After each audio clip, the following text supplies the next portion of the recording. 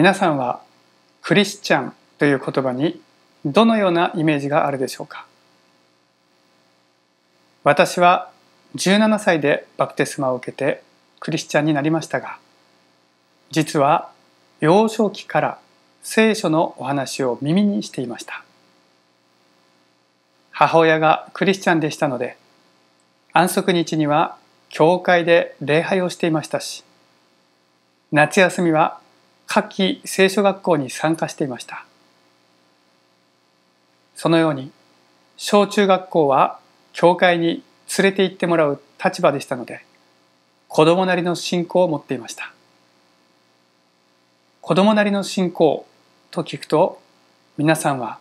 素直で純粋な信仰だと思うでしょうか。私の場合は全くその逆でした。小学校低学年の時だったかと思いますがある時何が当たるかわからないおまけ付きのお菓子いわゆる食品玩具食玩を買って欲しいバッジが当たらなかった私は子供なりの信仰で何をしたかというとその外れたバッジを戸棚にしまい神様にお祈りして自分が欲しかったバッジに変えようとしたのです。一生懸命祈ってワクワクしながら戸棚を開けました。そうしたらやはり外れのバッジです。もう一度戸棚を閉めて一生懸命祈りました。結果は同じでした。そのうちだんだんと神様に対して腹が立ってきてもうお祈りなんかしないという気持ちになったのを覚えています。私の子供なりの信仰は子供なのに自我を満足させるために神様を引っ張り出す信仰でした。なぜこのような曲がった信仰になったのでしょうか。今日は本音でその話をしたいと思います。ところで皆さんの周りでは新型コロナ感染予防のマスクを着用している方はどれくらいの割合でおられるでしょうか？都会に行けば都会に行くほどマスクの着用率はほぼ100%だと思います。私が住んでいるところは隣の家との距離が4 5 0 0メートル離れていますのでほとんど人と会いません。ですから基本的にマスクはしていません。自宅から20分くらいのとこにある小さな個人経営のスーパーでもマスクをしていない男性を見かけることもあります。しかしこの田舎暮らしの感覚で市内に買い出しに行くと大変なことになります。まずお店に入れないところもあります。マスクを着用していない人は無責任な人で社会的信用のない非常識な人と見られてしまいます。そこで私は車の中にマスクを入れておいて市内に行く時だけそれを使い回しています。このように私のような田舎暮らしの感覚から見ればマスクをする理由は一つです。それは人の目が気になるからです。さて、私は幼少期から教会に行っていましたが、私が教会で学んだことは何だったでしょうか？イエス様が私を愛しておられることでしょうか？確かに子供のクラスのお話ではイエス様が私を愛しておられるという内容のお話をたくさん聞きました。しかし私にとってイエス様の愛とは外れたバッジを当たりのバッジに祈りで変えてくださる愛だと思っていたのです。恥ずかしながらこれは福音の真理が罪の影響を受けている非常にわかりやすい例になります。神様は私を愛してくださるので熱心にお祈りすれば何でも願いを叶えてくださるという利己的な信仰とそれを支持するかのような熱心な祈りというこの行為によって幼少期から行いによって救われるという間違った信仰の道を歩んでいたのです。そしてこの間違った信仰の道はいつもあるテーマに沿って進んでいきました。それは人の目が気になるというテーマです。まるで田舎暮らしの私が都会に買い出しに行く時人の目が気になるからとの理由で新型コロナ対策のマスクをするようなものです。実際私は幼少期に教会で新型コロナ対策とは違うマスクをしていました。それは本当の自分とは違う。お利口さんマスクです。教会での安息日礼拝は子供にとっては良い訓練です。騒がずにおとなしくして自我に対する抵抗をするからです。私は絵を描いて安息日礼拝を過ごしていました。しかしそのうち教会でおとなしくしている私をお利口さんと褒めてくれる信徒の方々が登場するわけです。そして私は褒められたことに味を占めて子供なのに教会でおとなしくしているお利口さんマスクを身につける手段を編み出したのです。ここで皆さんに質問です。皆さんはこのようなお利口さんマスクを手にしたことがありますか？なぜこの質問をしたかというと実はこのお利口さんマスクは私だけが持っていたわけではなかったからです。特に親がクリスチャンであるなら子供は教会に連れて行かれる確率がとても高くなりますが私と同じお利口さんマスクは教会で騒がないお利口な子供が持っている可能性があります。私も含めこのような子供たちに共通する状態は本当にお利口なのではなくお利口なふりをしている状態だということです。もちろんお利口なふりではなく本当にお利口な子供もいるでしょう。親が聖書と証の文に沿った教育をするならばそれは可能です。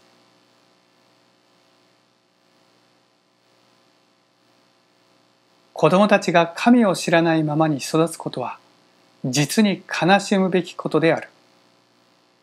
子供たちが将来良くなるだろう年を取れば自分から宗教経験を絶望するようになるだろうと考えて子供たちに宗教教育を施す仕事を怠る時親は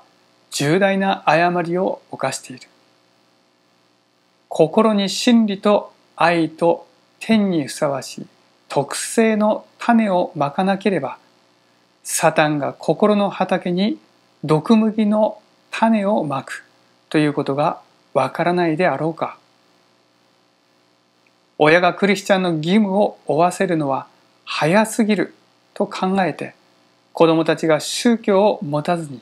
成長することがよくある。ここには幼少期から子供に宗教的礼拝義務感を教えることを早すぎると考えるべきではないと記しています。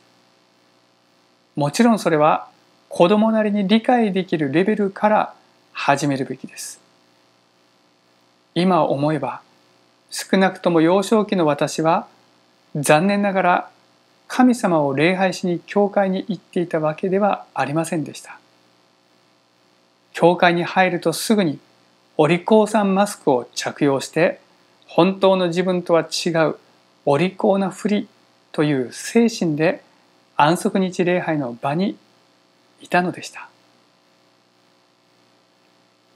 しかし本当の自分とは違うお利口なふりをいつまでも続けることはやはり無理がありました。高校生になった私は最初のうちはお利口さんマスクを着用していましたが途中からロックミュージックにはまってしまいおかげでお利口さんマスクを投げ捨てるような状況になりました。ロックミュージックは尖っている方がクールだという価値観が芽生えたからです。そしてその頃より学校で問題を起こすようにもなりましたが実はその状態がお利口さんマスクの下に隠されていた本当の自分の姿だったのです。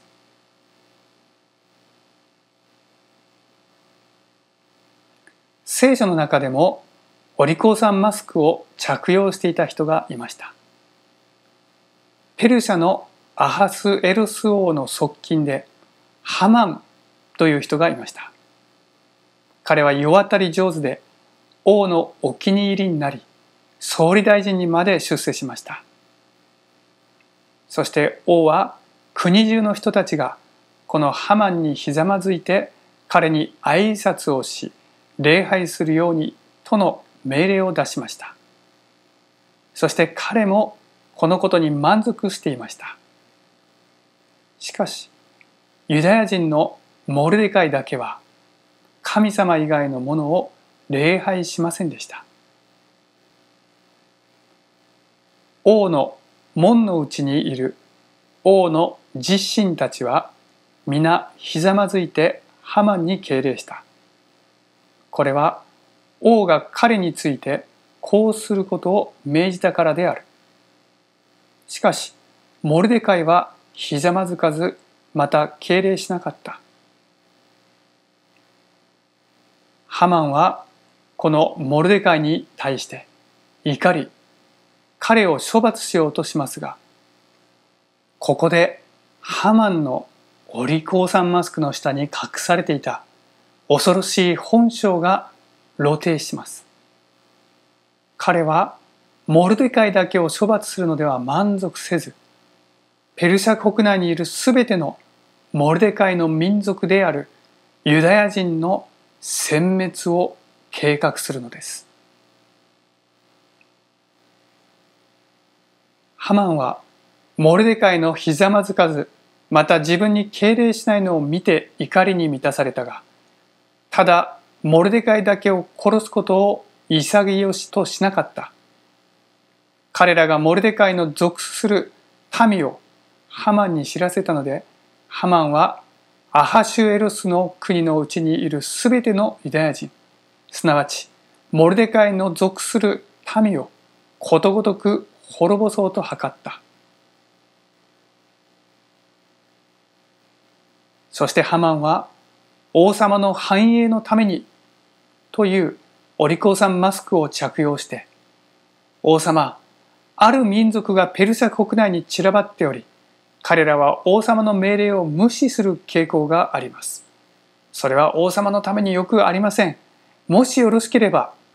彼らを排除するご命令を出してください。そのために手伝う人とその人たちの人件費も私がお支払いしますから。というような王にとってはこれほど頼りになる側近はいないと思わせるような申し立てをしたのでした。もちろん王はこのことを快諾して証人院の指輪を彼に渡しその民の運命をハマンに委ねお金もハマンが取っておきなさいと言ったのでした。そしてハマンはアハシュエロス王に言った。お国の各州にいる庶民のうちに散らされて分かれ分かれになっている一つの民がいます。その法律は他のすべての民のものと異なり、また彼らは王の法律を守りません。それゆえ彼らを許しておくことは王のためになりません。もし王が良しとされるならば彼らを滅ぼせと御事のりをお書きください。そうすれば私は王のことを司る者たちの手に銀一万タラントを計り渡して王の金庫に入れさせましょう。そこで王は手から指輪を外し赤首と半目立の子でユダヤ人の敵であるハマンに渡した。そして王はハマンに言った。その銀はあなたに与える。その民もまたあなたに与えるから、良いと思うようにしなさい。ハマンの策略は非常に綿密に計画されたものでした。彼はそのユダヤ人殲滅実行の時を今で言うと3月から4月の23の月に占いによって決めていましたそして待ち遠しいその日は今で言うと翌年の2月から3月のアダルの月の13日に決定してありました。すなわち翌年の冬にペルシャ国内のすべてのユダヤ人はハマンの策略の犠牲となるわけです。しかし神はモルデカイが人間を礼拝しなかった事実を喜ばれ彼の民族の命を守るためにあることをご計画しておられました。それはモルデカイの養女であった美しいユダヤ人女性エステルを王の妻にするということでした。そしてエステルは実際神様の摂理によって王の妻として召されたのでした。しかし彼女は自分の民族であるユダヤ人の命を守るために王に直訴することをためらいます。なぜなら王の前妻であった元王妃ワシティは王に対して不尊だったので王妃を辞めさせられエステルがその代わりとして選ばれていたからです。つまりもし王の起源を損ねたら自分の立場や命すら危うくなるからです。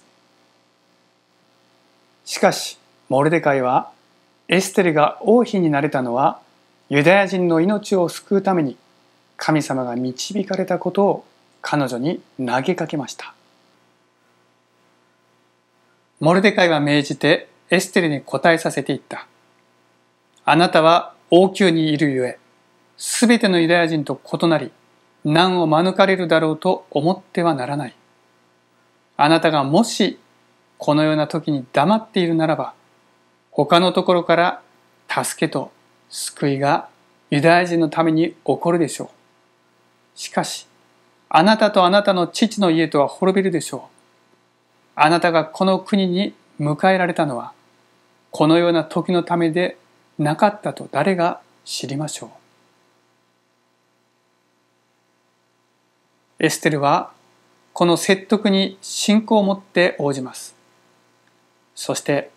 命を懸けて王に直訴するので私のためにユダヤ民族全体で祈ってほしいと願い求めるのです。あなたは言ってスサにいるすべてのユダヤ人を集め私のために断食してください。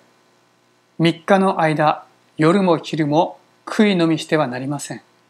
私と私の次女たちも同様に断食しましょう。そして私は法律に背くことですが、王のもとへ行きます。私がもし死なねばならないのなら死にます。エステレはどのようにしてユダヤ人を救うのでしょうかそれはハマンの本性を暴露するしかありません。果たしてこのようなことは成功するのでしょうか神様は着々とこの成功のためにエステルを通して王に働きかけられました。まずは王にエステルを大切にする気持ちを起こさせました。3日目にエステルは王妃の服を着王宮の内庭に入り王の広間に向かって立った王は王宮の玉座に座して王宮の入り口に向かっていたが王妃エステルが庭に立っているのを見て彼女に恵みを示しその手にある金の尺をエステルの方に伸ばしたのでエステルは進み寄ってその尺の頭に触った。王は彼女に言った。王妃エステルよ何を求めるのか。あなたの願いは何か？国の半ばでもあなたに与えよう。エステルはいきなりユダヤ人の命を救うことを願い求めるのではなく王とハマンと共に食事をしたいと願い求めます。これは神の知恵によるものでありハマンのマスクを取り去る機会を捉えるためでしたそしてこのことは2日間に分けられてなされましたエステルは言った。もし王が良しとされるならば、今日私が王のために設けた主演にハマンとご一緒にお望みください。そこで王はハマンを早く連れてきてエステルの言うようにせよと言い、やがて王とハマンはエステルの設けた主演に臨んだ。主演の時、王はエステルに言った。あなたの求めることは何か必ず聞かれる。あなたの願いは何か国の半ばでも聞き届けられる。エステルは答えて言った。私の求め、私の願いはこれです。もし私が王の目の前に恵みを得、また王がもし私の求めを許し、私の願いを聞き届けるのを良しとされるならば、ハマンとご一緒に明日また私が設けようとする主演にお望みください。私は明日王のお言葉通りにいたしましょう。この時、ハマンはどのような気持ちだったでしょうか王と王妃と自分だけの三人の食事会。しかも二日間にもわたるこの食事会。自分はその立場にふさわしいことを誇りに思い、プライドを持ってとても喜んでいました。そして彼は帰りがけにモルデカイに会いますが、もちろん自分に対する挨拶と礼拝行為はなされません。このことが余計彼の高くそびえ立ったプライドに傷をつけますが、家に帰って家族や友人を集め、今日自分がいかに王と王妃に尊ばれたかそしてこんな自分を敬わないモルデカイが気に食わない話をします。家族や友人たちは、そんな奴は木に吊るして殺したらよいと提案します。ハマンは言った。王妃エステルは主演を設けたが、私の他は誰も王と共にこれに望ませなかった。明日もまた私は王と共に王妃に招かれている。しかし、ユダヤ人モルデカイが王の門に座しているのを見る間は、これらのことも私には楽しくない。その時、妻ゼレシとすべての友は彼に言った。高さ50キビトの木を立てさせ、明日の朝、モルデカイをその上にかけるように王に申し上げなさい。そして王と一緒に楽しんでその主演においでなさい。ハマンはこのことを良しとしてその木を立てさせた。その時、神様はアハシュエルス王にも働きかけられました。かつてモルデカイが王の暗殺を企てていた者のことを王に知らせて、その暗殺計画を止めたこと、そしてこのモルデカイにはまだ何のお礼をもしていないことを王は知ることとなるのです。その夜、王は眠ることができなかったので、命じて日々のことを記した記録の書を持ってこさせ、王の前で読ませたが、その中に、モルデカイがかつて王の自重で王の部屋の塔を守る者のうちのビグタナとテレシの二人がアハシュエル僧を殺そうと狙っていることを告げたと記されているのを見出した。そこで王は言った。このことのためにどんな栄誉と爵位をモルデカイに与えたか王に仕える自身たちは言った。何も彼に与えていません。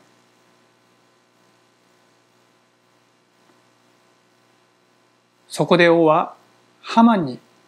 ある人にプレゼントをあげたいのだが何が良いかと相談します。プライドの高いハマンはそのある人とは自分のことだと勝手に思い込み自分が欲しいものをどんどん遠慮もなく王に告げるのでした。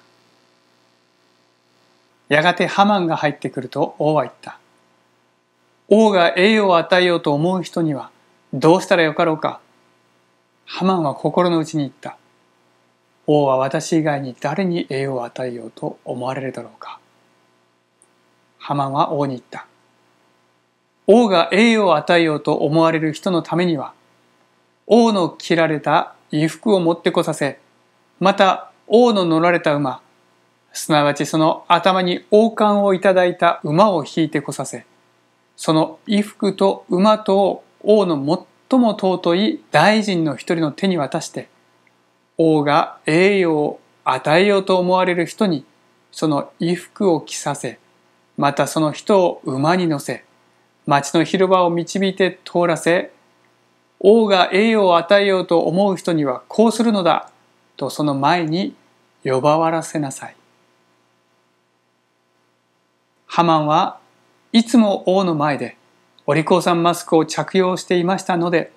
自分がこれらのものをもらえるのは当然だと思い込んでいました。ここに一つの教訓があります。人間は自分の本性を偽っているうちにそれが本当の自分の姿だと錯覚を起こすのです。私がお利口さんマスクをつけて教会に出入りしていた時私は自分が本当にお利口さんであると思い込んでいました。そしてお利口さんと褒められることが当然だと思っていました。ハマンの勘違いも私の勘違いも本当の自分を隠すマスクを着用していたことから起こったのです。ここから神様がハマンのマスクを取られる方向に一気に話が進展します。先ほどまで王の栄誉に預かるのは自分だと思っていたハマンは王の口から信じられない言葉を聞きます。それで王はハマンに言った。急いであなたが言ったようにその衣服と馬とを取り寄せ、王の門に座しているユダヤ人、モルデカイにそうしなさい。あなたが言ったことを一つも書いてはならない。そこでハマンは衣服と馬とを取り寄せ、モルデカイにその衣服を着せ、彼を馬に乗せて、町の広場を通らせ、その前に呼ばわって、王が栄誉を与えようと思う人にはこうするのだと言った。こうしてモルデカイは王の門に帰ってきたが、ハマンは憂え悩み、頭を覆って急いで家に帰った。さらに神様はエステルを通していよいよハマンの本性を暴露されます。約束通り二日目の会食会にハマンが出席した時、エステルは王にユダヤ人殲滅計画が企てられているという悩みについて話すのでした。この二日目の主演に王はまたエステルに言った。王妃エステルよ、あなたの求めることは何か必ず聞かれる。あなたの願いは何か国の半ばでも聞き届けられる。王妃エステルは答えて言った。王よ、もし私が王の目の前に恵みを得、また王がもし良しとされるならば、私の求めに従って私の命を私に与え、また私の願いに従って私の民を私に与えてください。私と私の民は売られて滅ぼされ殺され絶やされようとしています。もし私たちが男女の奴隷として売られただけなら私は黙っていたでしょう。私たちの難儀は王の損失とは比較にならないからです。アハシュエルソはエステルのこの話を聞いて驚きます。そして誰がこのような無慈悲なことを企てているのか、そのものについて尋ねるのです。アハシュエルソは王妃エステルに言った。そんなことをしようと心に企んでいる者は誰かまたどこにいるのかエステルは言った。その仇、その敵は、この悪いハマンです。そこでハマンは王と王妃の前に恐れおののいた。王はハマンに騙されていたことを悟り、そして怒ってその場を出ていきます。残されたのはエステルとハマンですが、ハマンはエステルに命乞いをします。しかしエステルもその場を立ち去るのでした。王は怒って主演の席を立ち、宮殿の園へ行ったが、ハマンは残って王妃エステルに命乞いをした。彼は王が自分に害を加えようと定めたのを見たからである。王が宮殿の園から主演の場所に帰ってみると、エステルのいた長椅子の上にハマンが伏していたので、王は言った。彼はまた私の家で、しかも私の前で、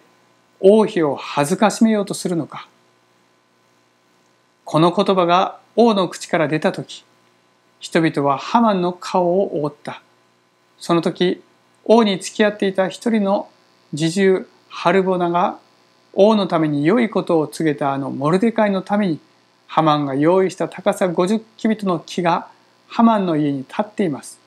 と言ったので、王は彼をそれにかけようと言った。そこで人々はハマンをモルデカイのために備えてあった木にかけた。こうして王の怒りは和らいだ。このようにして神様はハマンのユダヤ人殲滅計画を阻止されました。ハマンのお利口さんマスクは神様によって取り去られたのです。しかし、ハマンの生き方は多くのクリスチャン、特に二代目クリスチャンに当てはまることがしばしばあります。ハマンはお利口さんマスクを着用する時と外す時がありました。つまりそれは裏表がある、もしくは影ひなたがあるということです。アハシュエルス王はハマンの表の部分または日向の部分しか見えず完全に彼を信頼していましたが神様はどうだったでしょうか？人には本性を隠せても神様には隠せませんでした。私は人生においてたびたびお利口さんマスクを着用してきました。熱心に聖書を学んだり、その働きを褒められると、自分が落ちこぼれクリスチャンであることも忘れて、良いクリスチャンであるように錯覚するのです。そういった時には、心のどこかにしまい込んでいたこのマスクを無意識のうちに着用しているのです。そして残念ながら私はまだこのマスクを完全に捨て去ることができていない恐れがあります。しかし神様は私の本性をすべてご存知であられ、たびたび私のマスクを取られます。その時、私ははっと我に返って自分の本性に気がつかされる機会を与えられます。